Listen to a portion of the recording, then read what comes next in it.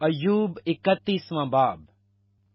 میں نے اپنی آنکھوں سے عہد کیا ہے، پھر میں کسی کمواری پر کیوں کر نظر کروں؟ کیونکہ اوپر سے خدا کی طرف سے بکھرا ہے اور عالم بالا سے قادر مطلق کی طرف سے کیا میراث ہے؟ کیا وہ ناراستوں کے لیے آفت اور بد کرداروں کے لیے تباہی نہیں ہے؟ کیا وہ میری راہوں کو نہیں دیکھتا اور میرے سب قدموں کو نہیں گنتا؟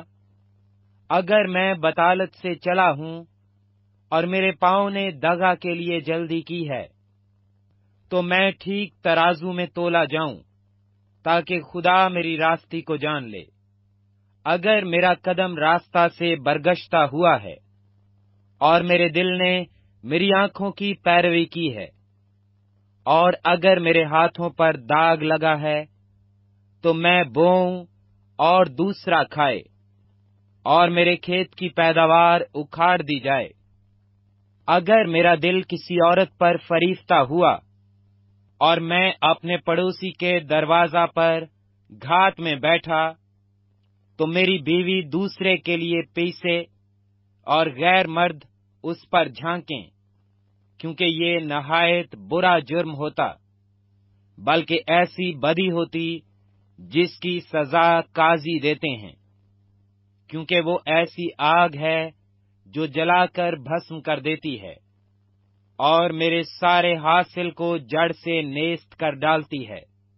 اگر میں نے اپنے خادم یا اپنی خادمہ کا حق مارا ہو، جب انہوں نے مجھ سے جھگڑا کیا تو جب خدا اٹھے گا، تب میں کیا کروں گا؟ اور جب وہ آئے گا، تو میں اسے کیا جواب دوں گا؟ کیا وہی اس کا بنانے والا نہیں، جس نے مجھے بطن میں بنایا؟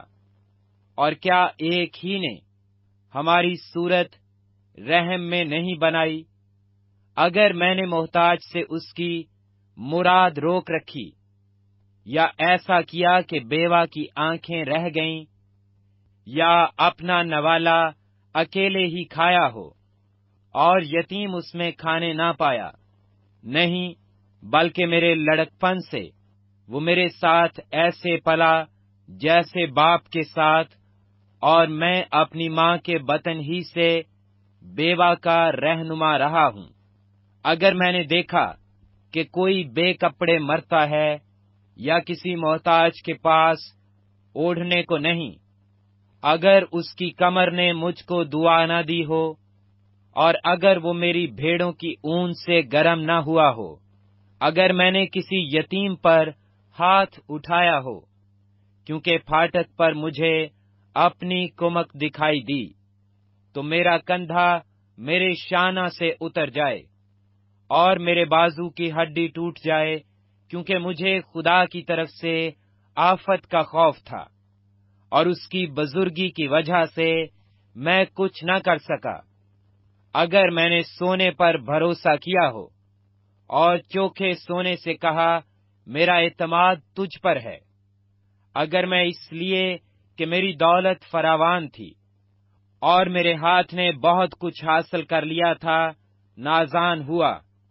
اگر میں نے سورج پر جب وہ چمکتا ہے نظر کی ہو، یا چاند پر جب وہ آب و تاب میں چلتا ہے، اور میرا دل خفیاتن فریفتہ ہو گیا ہو، اور میرے منہ نے میرے ہاتھ کو چوم لیا ہو، تو یہ بھی ایسی بدی ہے جس کی سزا قاضی دیتے ہیں۔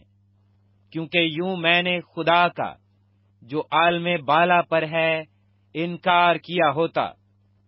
اگر میں اپنے نفرت کرنے والوں کی ہلاکت سے خوش ہوا، یا جب اس پر آفت آئی تو شادمان ہوا۔ ہاں میں نے تو اپنے منہ کو اتنا گنا بھی نہ کرنے دیا کہ لانت بھیج کر اس کی موت کے لیے دعا کرتا۔ اگر میرے خیمہ کے لوگوں نے یہ نہ کہا ہو، ایسا کون ہے جو اس کے ہاں گوشت سے سیر نہ ہوا؟ پردیسی کو گلی کوچوں میں ٹکنا نہ پڑا، بلکہ میں مسافر کے لیے اپنے دروازے کھول دیتا تھا۔ اگر آدم کی طرح اپنی بدی اپنے سینا میں چھپا کر میں نے اپنی تقسیروں پر پردہ ڈالا ہو، اس سبب سے کہ مجھے عوام الناس کا خوف تھا اور میں خاندانوں کی حکارت سے ڈر گیا۔ یہاں تک کہ میں خاموش ہو گیا اور دروازہ سے باہر نہ نکلا۔ کاش کہ کوئی میری سننے والا ہوتا۔ یہ لو میرا دستخط۔ قادر مطلق مجھے جواب دے۔ کاش کہ میرے مخالف کے دعوی کی تحریر ہوتی۔ یقیناً میں اسے اپنے کندھے پر لیا پھرتا اور اسے اپنے لیے اماما کی طرح باندھ لیتا۔ میں اسے اپنے قدموں کی تعداد بتاتا، امیر کی طرح میں اس کے پاس جاتا، اگر میری زمین میرے خلاف دہائی دیتی ہو، اور اس کی ریگھاریاں مل کر روتی ہوں، اگر میں نے بے دام اس کے پھل کھائے ہوں، یا ایسا کیا کہ اس کے مالکوں کی جان گئی، تو گیہوں کے بدلے اونٹ کٹارے اور جو کے بدلے کڑوے دانے اگیں۔ ایوب کی باتیں تمام ہوئیں۔